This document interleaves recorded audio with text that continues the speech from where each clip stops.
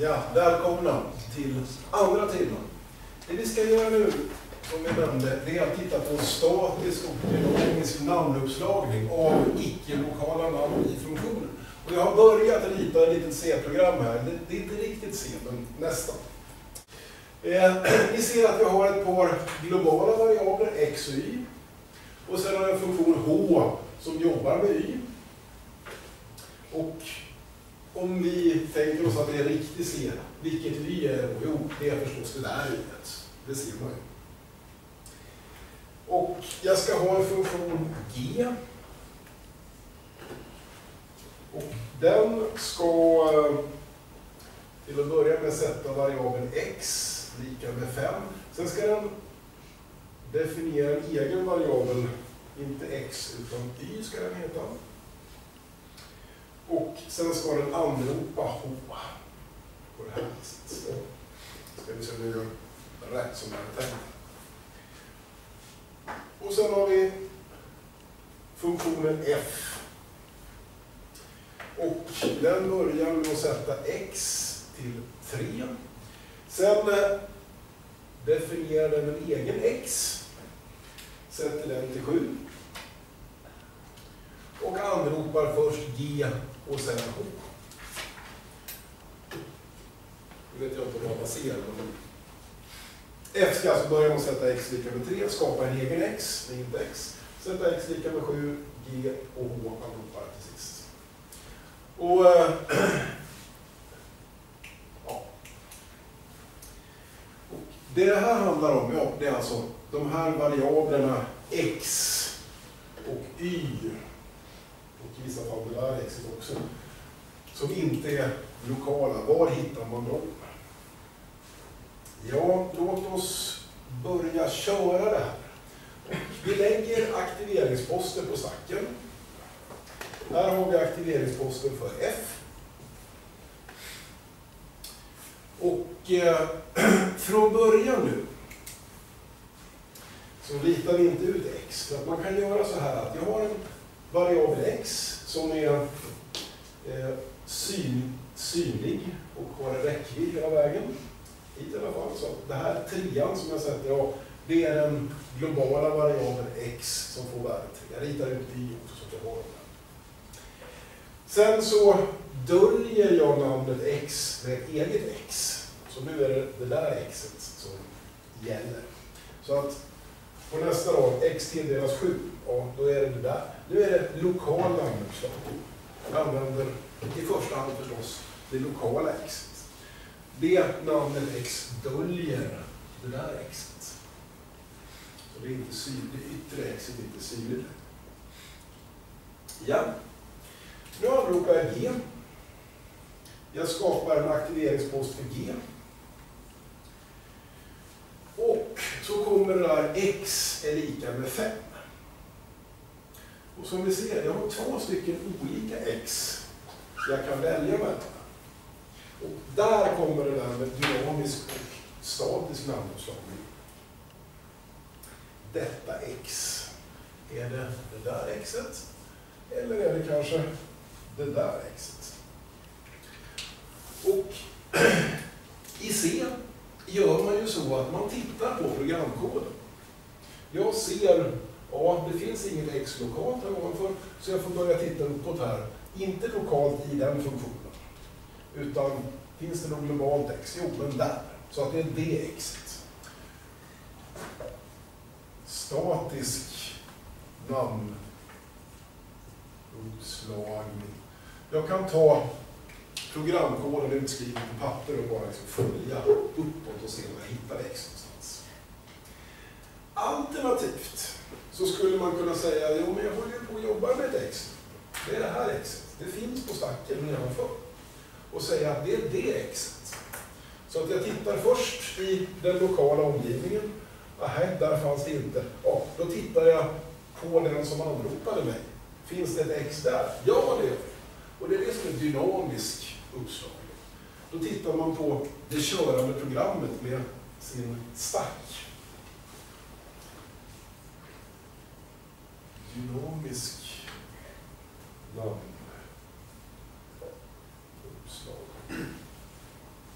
Det kan vara lättare att implementera om man skriver en, en interpretator. Eh, men om man säger så här, vilket är bäst? Förutom när det gäller lätthet att implementera. Vilket är bäst?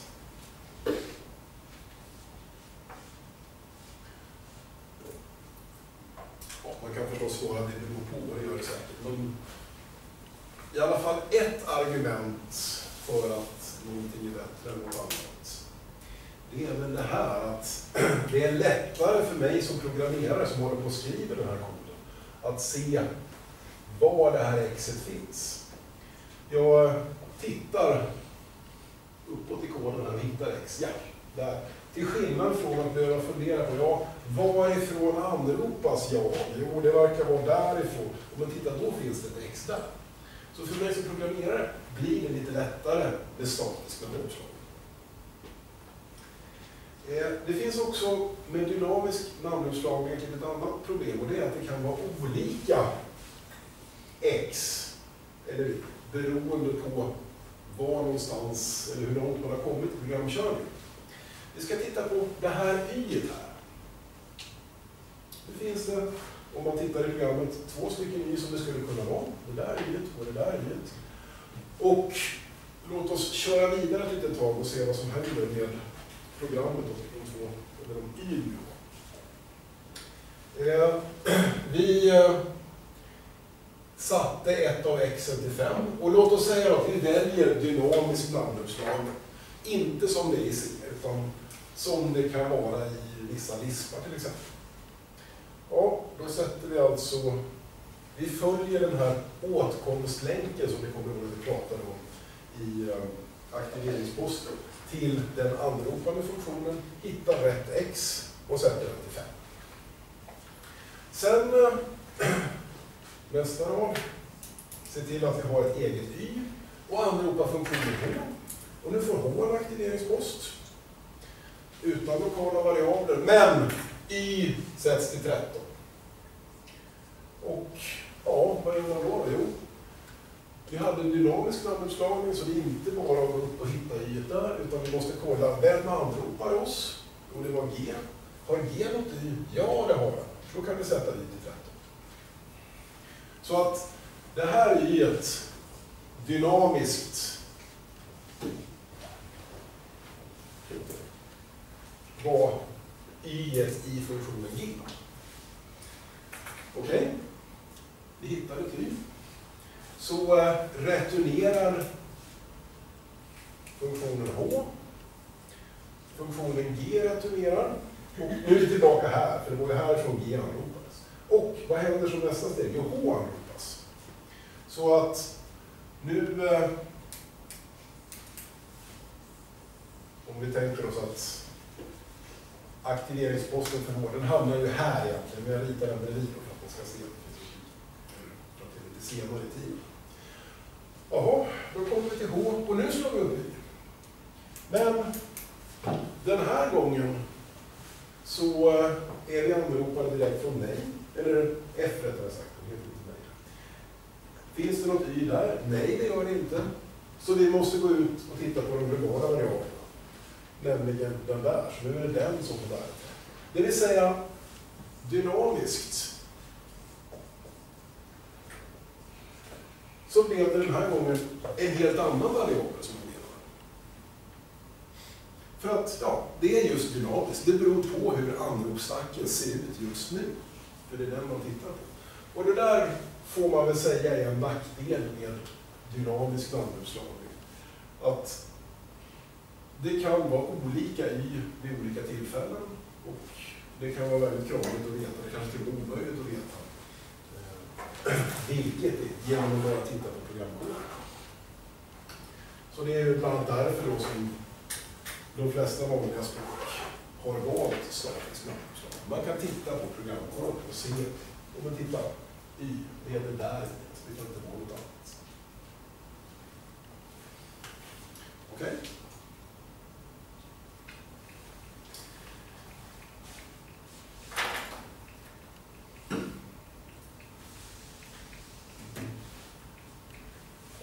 var av statisk och dynamisk namnuppslagning som har ju en del att göra med funktionsanrop kan man säga. I alla fall om det är dynamiskt namnuppslag.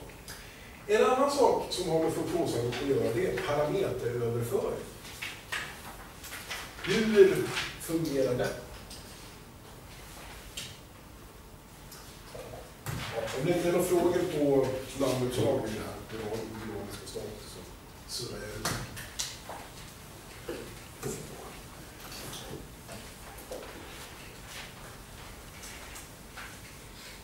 Finns det något tillfälle där det är en fördel att ha en dynamisk eh, namnslag? Man har ju vissa tillfällen när man behöver göra det. Ta till exempel vid objektorienterad programmering. Du har eh, eh, djur. Ska vi ta, vad är det mest bekväma med? C++ eller? Eller Java eller C++? Vi har en pekare till ett djur. Vi eh, get, jag menar inte getdjur utan jättehämtade djur. Nu har vi en pekare till djur. Och sen anropar vi funktionen äh, ät i djuret. Ja, om det är objektorientering här och vi har subklasser, då kan det vara så att olika typer av djur, olika klasser av djur, har olika sätt att äta.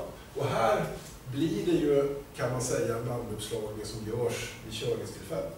Och då beror det ju helt och hållet på vad det innehåller för typ av pekare till, till djur. Är det en hund så ska den äta hundmat, är det en katt så ska den äta möss och så vidare.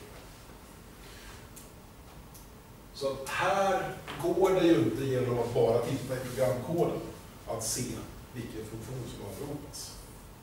Det är inte riktigt variabeluppslagning här, det är liknande. Men det är ju för att där vill man verkligen att det där ska göras vid körningstillfället, att det ska väljas rätt, rätt funktion.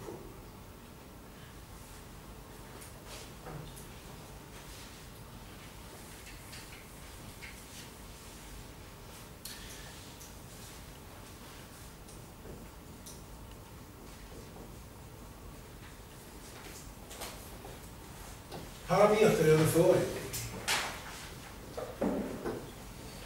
Och det enklaste, eller i alla fall det som man brukar se först i programmeringskurs, är call by value, värdeanrop. Att skriver jag f eh, x plus y 7 eh, z ja. ja, så först räknar man ut värdet av det här x plus y blir 19, 7 blir inte så mycket annat än 7. Z har kanske värdet 3 och då blir värdet 3. Och så anropar vi funktionen A och får tillbaka 9. Och så tar vi då kopior på 19, 7, 3 och 9 och skickar till funktionen F. Värden skickas. Och det kommer ni ihåg från C då att skulle jag vilja ändra på variabeln Z, ja, jag kan ändra hur mycket jag vill här borta på den parametern som tog emot Z. Det påverkar inte Z, för det som skickas till funktionen F är värden, kopior på det som låg i Z. Det är värden.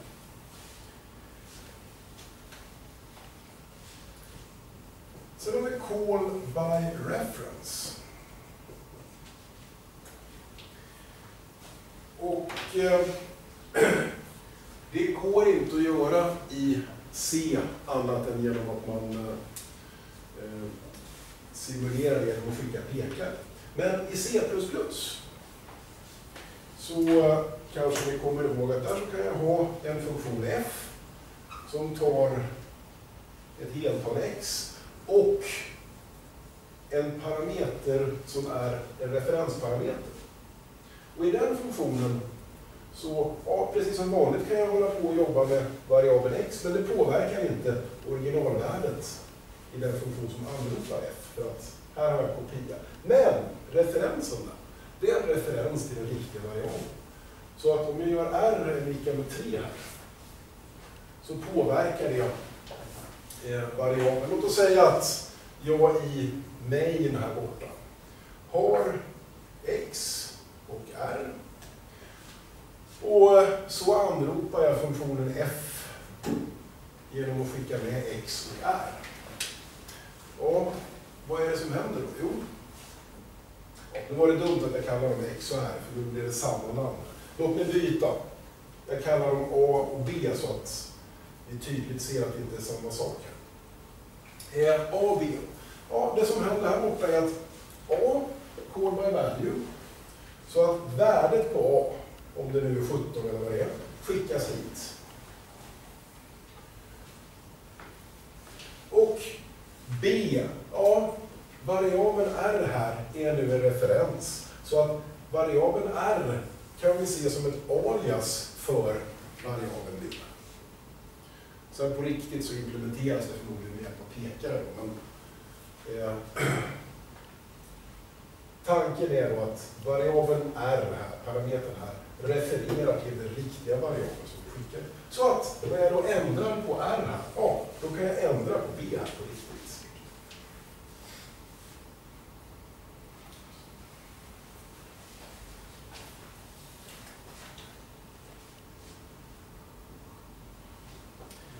Och sen finns det en variant till som heter call by name. Och då tar man namnen här, eller man kan se det som att man tar hela uttrycket här och skickar det till den andra funktionen. Om jag eh, i funktionen f nu ska göra någonting, låt oss säga att det är eh, parameter 1, parameter 2, parameter 3 och parameter 4. Om jag gör nu saker här, P1 är lik eh, P1 plus P2 gånger P3. Ja, då kan man se det som att man tar de här som man skickar och så stoppar man in det. Jag stoppar in X plus Y. Jag stoppar in 7, jag stoppar in Z. Så att det är lite som call by reference. Men ännu mer att man verkligen tar det här och stoppar in det. Det ser speciellt om man har en funktion här. Om jag gör någonting med eh, P4 här, så jag skriver P4 plus P4. Ja, byt ut P4 mot A och så blir det två stycken anrop till A.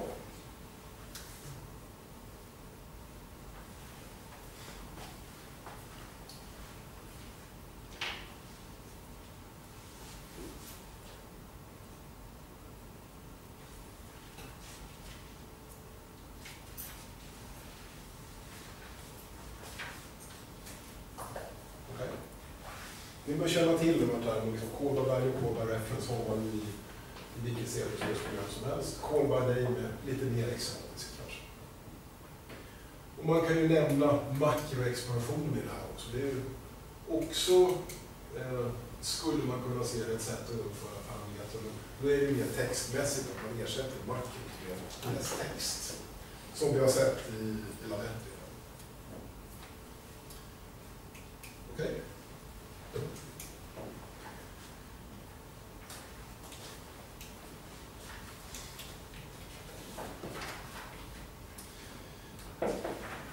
Jag hade tänkt säga lite om symboltabeller också, men egentligen så kontentan av det är mest det här att förutom det som symboltabellen i era 2.9-program innehåller, nämligen att eh, vi har ett lexikon, alltså namnet, en identifierare som beskriver variabeln, och en token-typ så kan man lägga in lite mer information i symboltabellen. Typer till exempel. Eh, 2.9-programmet jobbar ju bara med heltal. Men har man strängar och flyttal och saker, då måste man lägga in i symboltabellen att variabeln x är en flyttalsvariabel. Eh, storlekar, om man har en Beijer.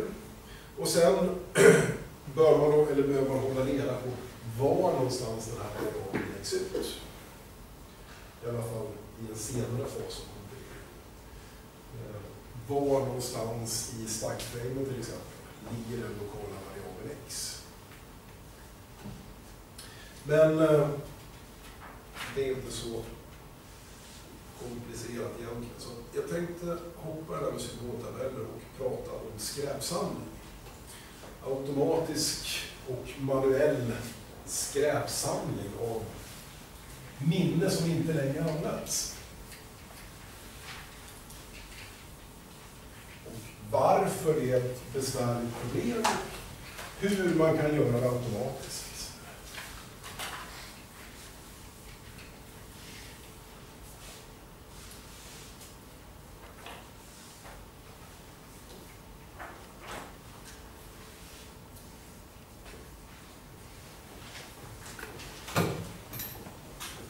På engelska, garbage collection. På eh, svenska brukar man nog säga skräp. Samling, även om själva ordet garbage collection kanske snarare på engelska betyder sophämtning. Man har skräp som behöver hämtas eller tas om hand på något vis. Och eh, ni vet ju att allokerar vi lite minne i ett program som C, eller ett språk som C, Låt oss bygga en liten länkad lista här. Jag har en länkad lista med plats för ett heltal och en pekare vidare till nästa post. Och så gör jag en lista med tre poster på det här viset. Och jag kan ju för skojs skull ha en extra pekare som heter last som pekar ut den sista posten.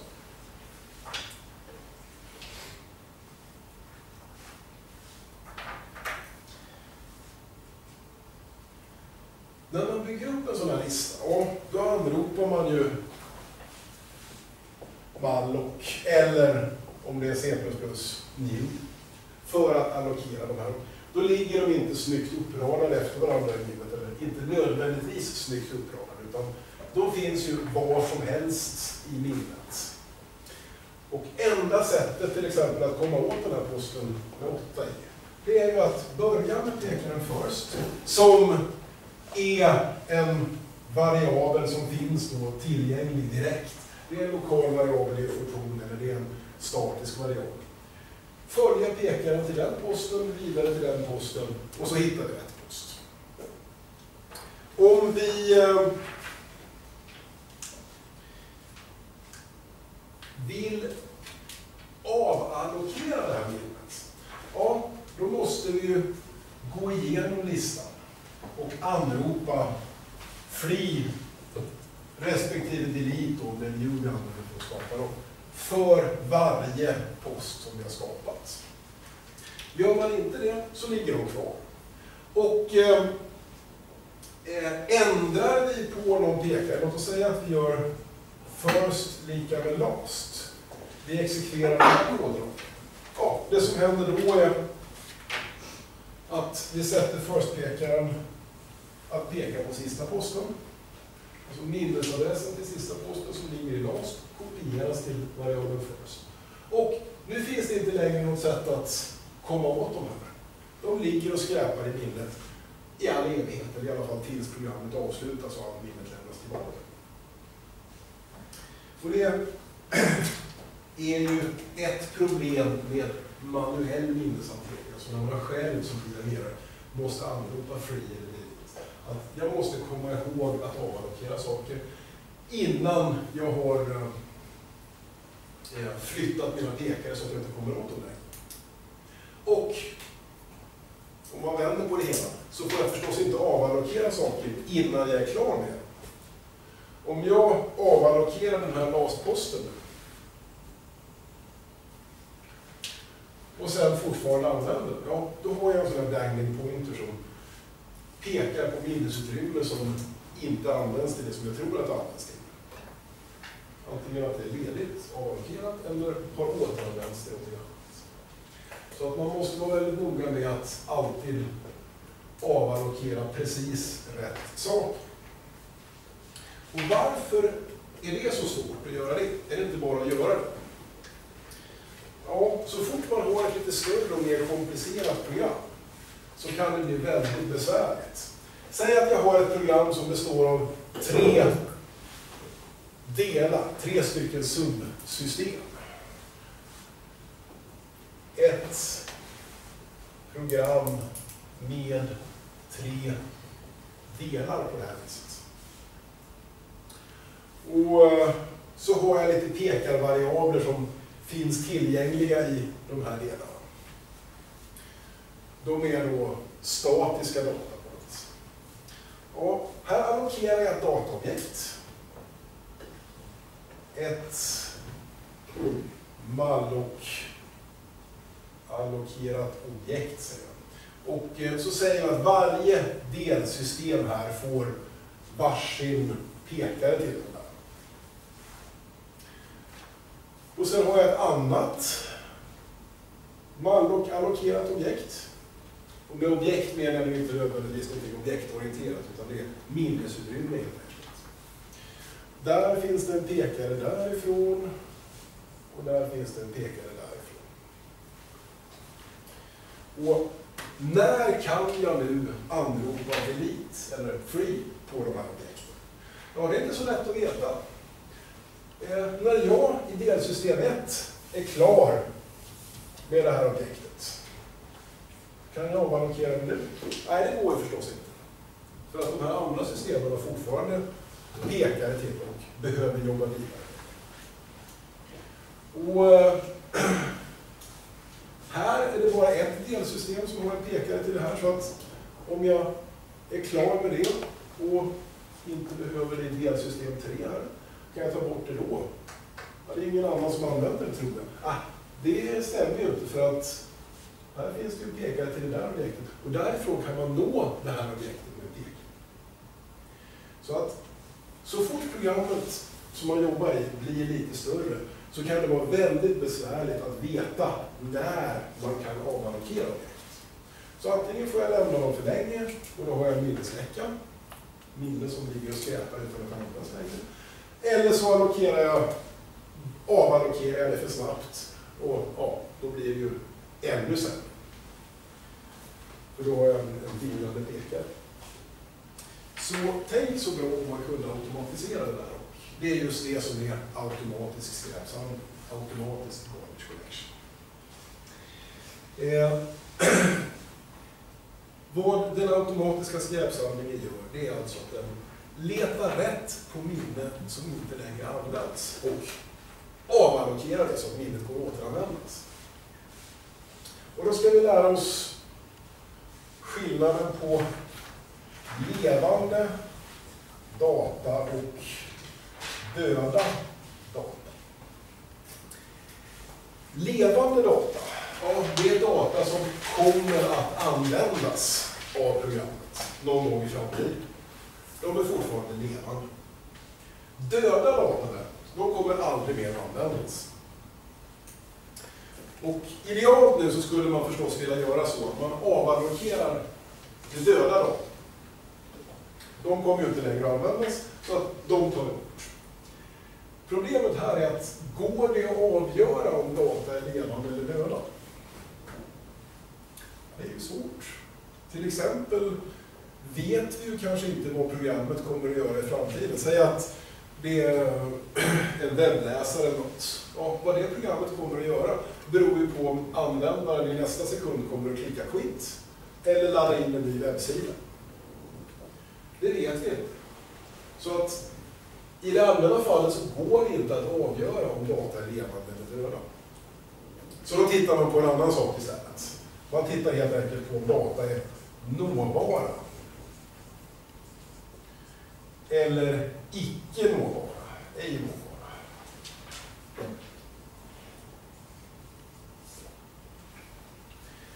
För det är ju så här att går det att nå data? Ta till exempel det här objektet. Ja, det går att nå. Vi kan gå den vägen och dit. Vi kan gå den vägen och dit.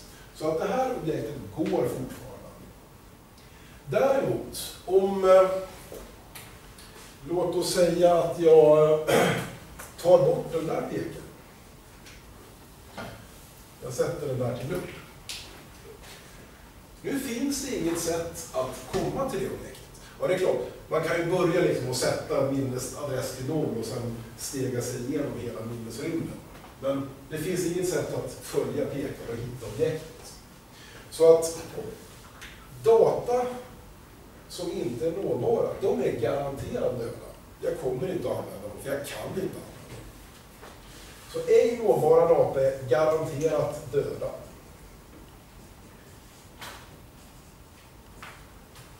Och vad den automatiska skräpsamlaren gör, det är att den tittar på nåbara eller icke nåbara. Och så fort den lyckas visa att data inte är nåbara längre, då är de garanterat döda. Och då kan man avvakta.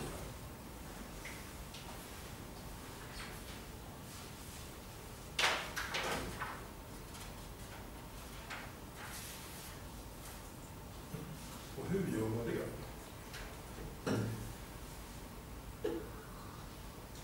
Ja, det finns ett antal olika metoder för skräpsamling. Och den grundläggande kallar vi för mark and sweep.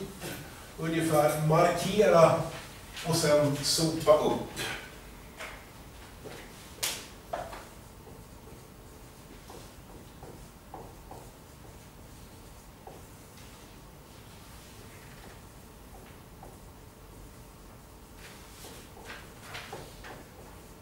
Eller sopa ihop. kanske vi ska säga. Markera och sopa upp. Eller markera och sopa upp. Och... eh, Ska vi se om jag har overheadbild så vi kan lägga på lite data.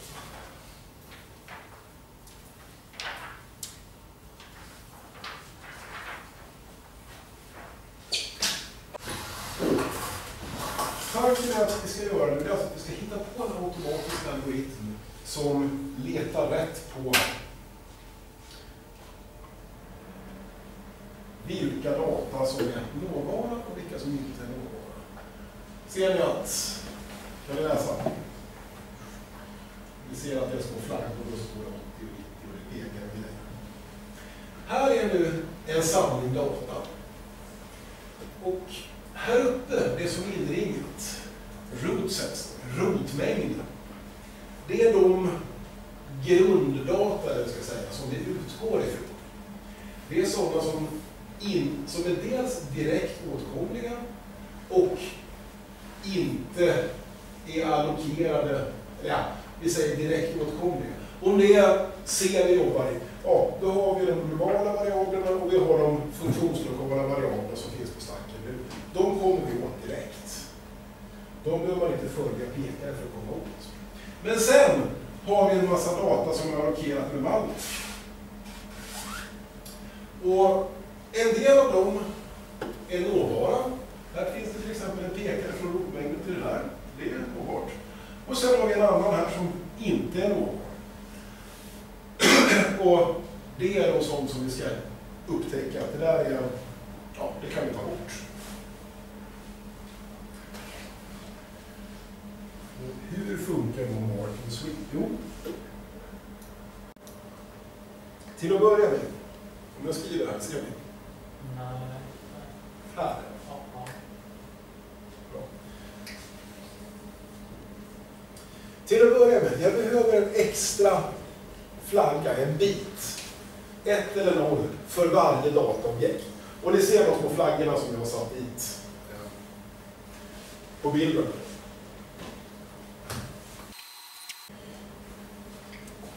Sen, steg två. Nolla alla dessa bitar.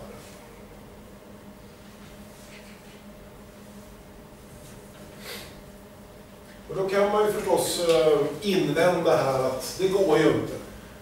För eh, till exempel den där biten där, den går ju inte att komma åt. Det går inte att komma till det dataobjektet. Nej, vi behöver bygga in någon form av, det här behöver vi bygga in i systemet, i runtime-omgivningen. Så att det finns ett sätt att gå igenom hela minnet. Och jag sa ju det, man kan ju sätta minnesadress till startminnesadress och sen gå igenom alla. Eller, det man skulle göra om det är C eller C-liknande, det är ju att Malloc-systemet håller reda på vilka objekt som är allokerade. Till exempel för att när man gör free så måste den veta hur mycket minne det är som det objektet använder så den vet hur mycket som ska lämnas tillbaka. Så att det behövs ett sätt att faktiskt gå igenom alla objekt, även om vi inte har pekare till dem. Och sen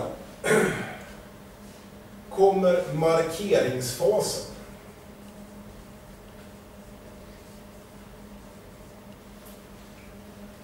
Det man gör är att man börjar med rotmängden och sen rekursivt följer man alla pekarna.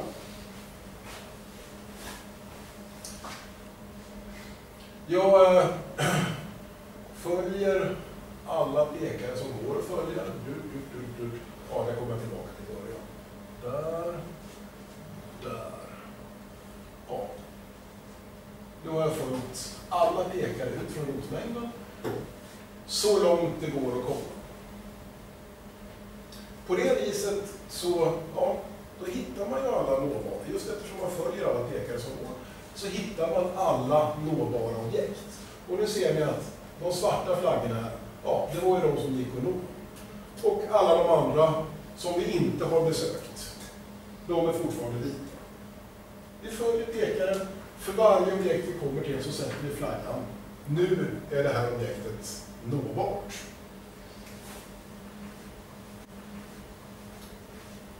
Och sen fyra, sweep, uppsopningsfasen.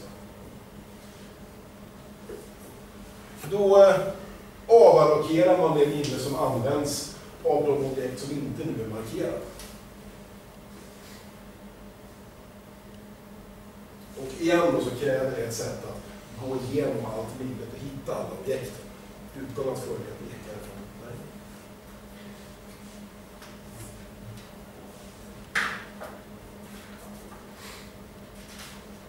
Det är grundmetoden nu för eh, automatisk skräpsamling. Har en del nackdelar. En nackdel är ju att medan man håller på och gör det här då skulle det vara väldigt dumt om någon annan del av programmet kom och började ändra pekare och hålla på och allokera nya objekt och sånt. Så att i sitt grundutförande så stannar programmet och så körs garden, eller skräpsamlaren. Och sen när den är klar så eh, kan man köra vidare. Så hela programmet stannar upp.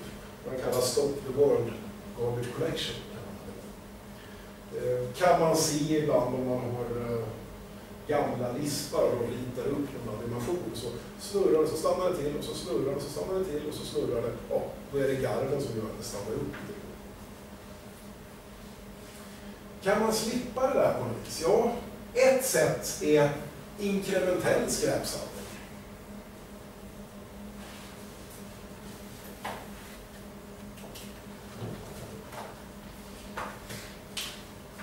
Jobbar lite grann i taget lämnar tillbaka till det vanliga programmet så det får köra, jobbar lite till, lämnar sedan tillbaka till det vanliga programmet.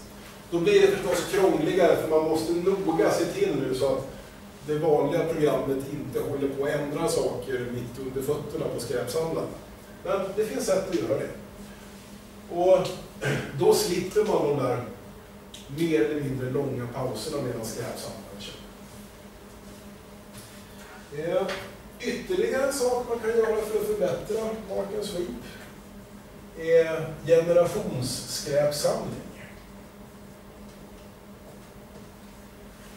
Man delar in alla sina objekt i, ja, i den enklaste formen, unga och gamla objekt. Och så utnyttjar man det fenomenet att de flesta objekt kommer att vara ganska kortlivade. Så att ett nytt objekt som jag skapar de här fem nya. Ja, jag kör en skräpsamling med mina nya objekt. Och eh, då var det bara ett som fortfarande levde. De här är inte längre nåbara, de är döda. Då eh, i den yngre generationen så eh, i och med att det här överlevde en skräpsamling så flyttade jag det till den äldre generationen. Så. Och sen eh, fortsätter jag allokera objekt. Och så kör jag en skräpsamling till av den yngre generationen. Ja, nu var det de där två objekten som överlevde. Då flyttar jag dem till den äldre generationen. Och så vidare. Det vill säga jag skräpsamlar den yngre generationen ganska ofta. Och de som överlever en skräpsamling där, ja, de räknas som äldre sen. Och den äldre generationen, ja, de objekten kan ju bli döda efter ett tag. Så jag måste skräpsamla här också. Men det gör jag väldigt sällan. Det gör jag kanske var tionde skräpsamling.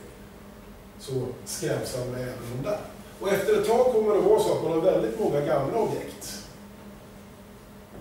Och ganska få unga. Så det går ganska snabbt att skräpsamla de där. Men man behöver inte gå in i den här jättemängden med objekt, utan det gör man bara då och då. Det är generationsskräpsamling. Eh,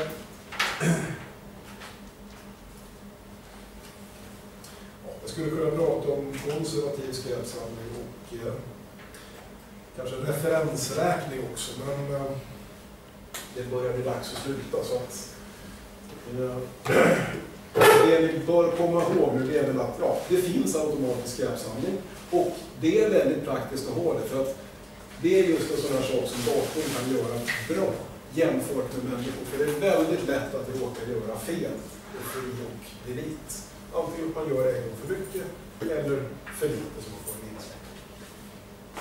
Kommentarer på det? Då är Dålig klarhet.